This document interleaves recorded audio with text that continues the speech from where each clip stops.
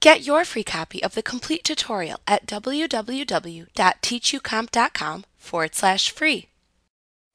If you want to recover anything that was accidentally deleted from your other Outlook folders, you will need to select the appropriate objects to restore from the Deleted Items folder by clicking on them to select them. You can make multiple selections by holding down the Control key and then clicking on all of the items that you want to restore to the same folder.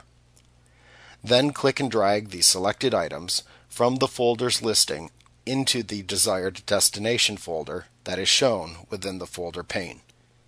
Release the mouse button when the desired destination folder icon is highlighted in the folder pane to move the items.